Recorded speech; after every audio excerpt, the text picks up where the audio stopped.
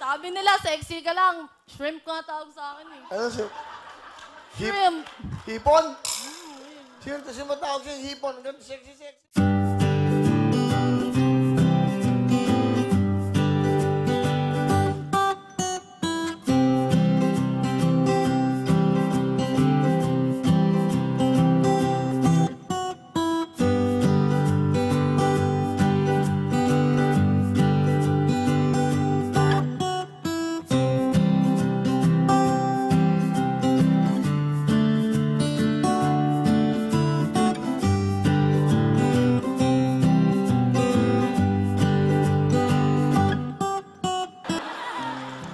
Sabi nila, sexy ka lang. Shrimp nga tawag sa akin eh. Ano si... Hip, Shrimp. hipon? Ano si matawag siya hipon? Ang ganda, sexy, sexy mo. Kaya nga, Will.